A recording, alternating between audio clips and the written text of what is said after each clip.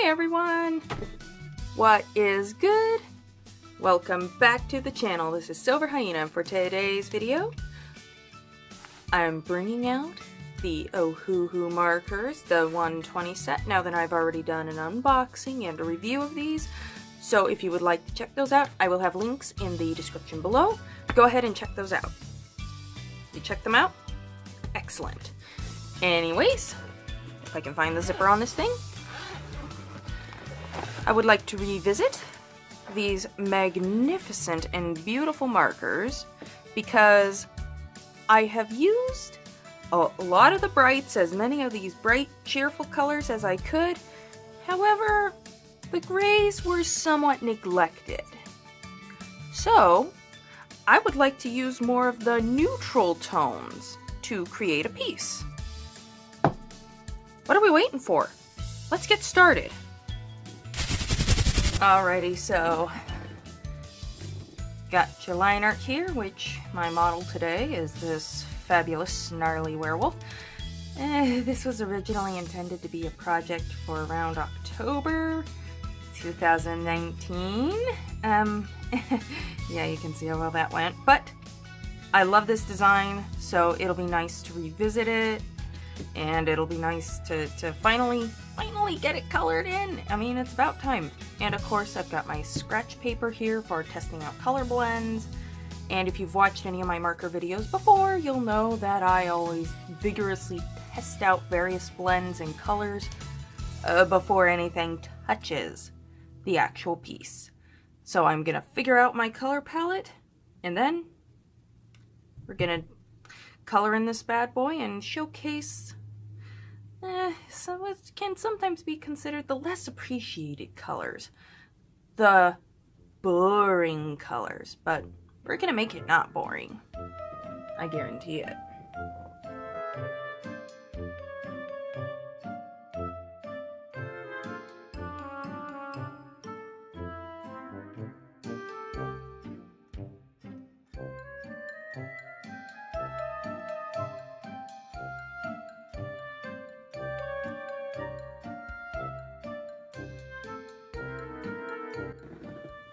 Alright, so I found some colors that I rather like to start.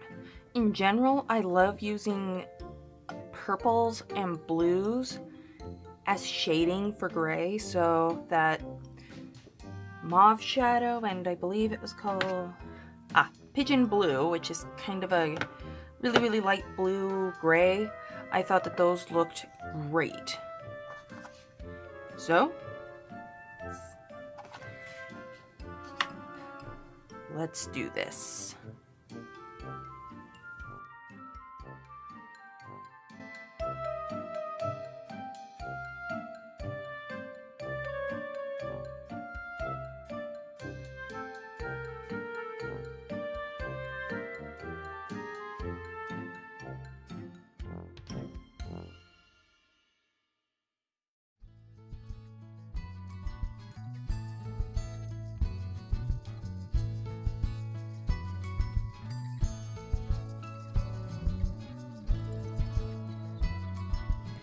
Okay.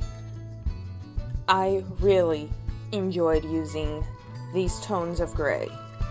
Seriously, this set comes with some amazing neutrals. Now then, judging by the fact that my first drawing with these markers was all the bright, super colorful rainbow, it could be easy for the neutrals to get overshadowed, which is why I just tried to stick more with the, the neutrals. Yes, I know I'm saying neutrals a lot. Please bear with me. but don't underestimate the power of a good neutral palette. Grays in this set have a lot of underlying tones. Purples, blues, greens, even hints of red and yellow in some cases. Use these underlying tones to your advantage. I tried to utilize sections, if that makes any sense. The main body utilized lots of blue tones. The lighter section used light mauve, or mauve shadow to be precise. In other words, kind of a purple pink. I absolutely love light purple for shading light tones of gray. As for the darkest parts, I used more of the solid gray grays and some gray greens. Honestly, I know I've gushed over Ohuhu brush markers before, many, many times in fact, but there's a reason for that. These brush markers are freaking amazing. The 120 set is just astounding, worth every penny. The colors are vibrant, the blending is an absolute dream, and the price is very reasonable. When you think about it, $100 for the set, and then 120 markers, that's under a dollar per marker. I mean, you go to any craft store, and if they've got open stock alcohol based brush markers, depending on the brand, you're usually looking at anywhere from three to four dollars per to six to eight dollars per. Now then, this is using US dollars, US currency. Since I don't know what country you all are from, the prices might be different. But this is just to give you an example. One dollar, not even a dollar, per marker. What's not to love? I'll have some links to some of my other Ohuhu brush marker content in the description below.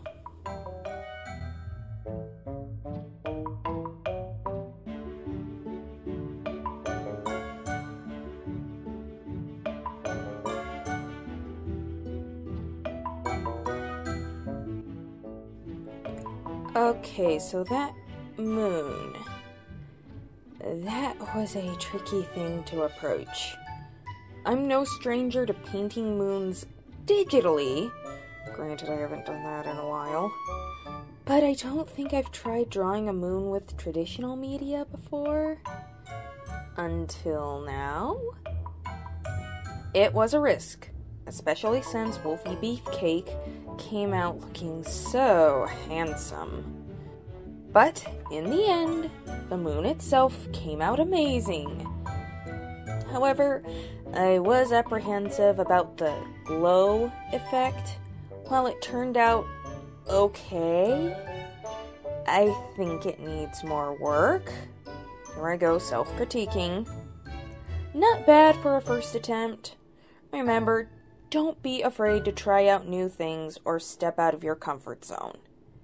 Sometimes you just you you don't know until you try. You really don't.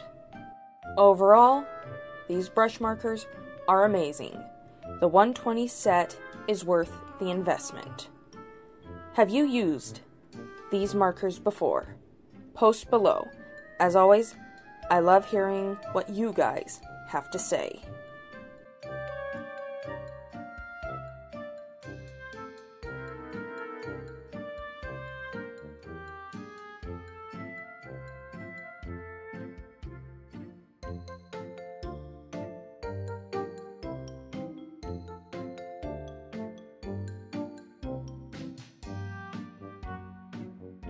Alright, here we are, all done.